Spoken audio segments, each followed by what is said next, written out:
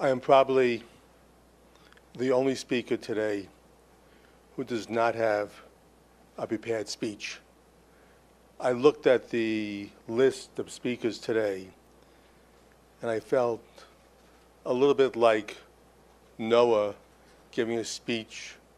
I felt like someone talking about water and out in the audience was Noah. So, frankly, I'd like to take a personal view on Durban, Durban 1 and Durban 2. During the last three months, myself and Dan Diker, on behalf of the World Jewish Congress, have visited 22 countries. We heard the same message from every country, the same message.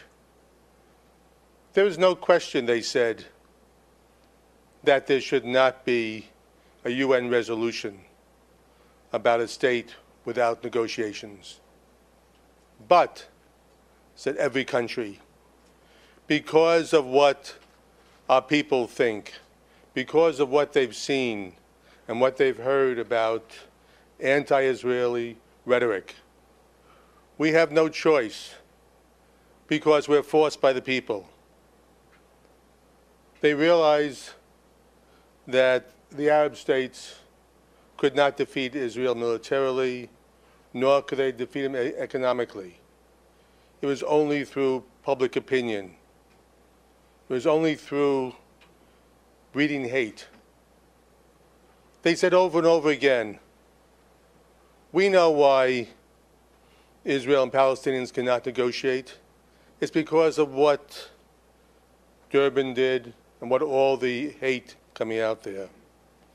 Why can't you explain to the world the truth? I said, we're the World Jewish Congress. People will not believe us.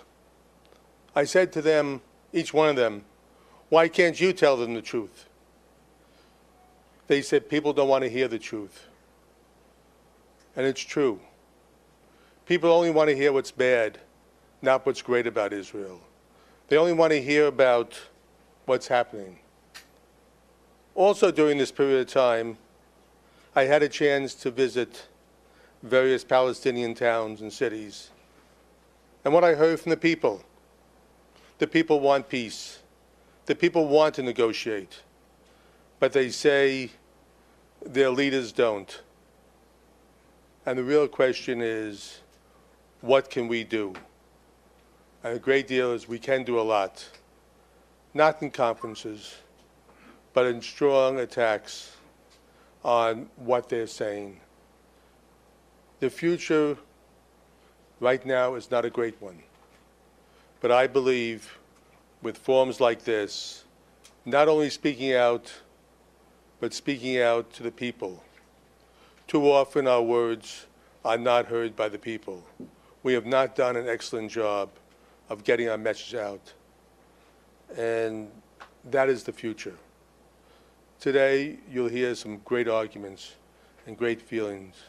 And again, I commend the people here for standing up. But it's only after we get into the street, the Arab street, the European street, the Latin American street, the Asian street, that the truth will be known. And I thank Touro College, Hudson Institute, and thank you for inviting us. And on behalf of the World Jewish Congress, we're doing everything we can. But again, we're fighting a huge amount of publicity, negative publicity against Israel and against all the things we stand for.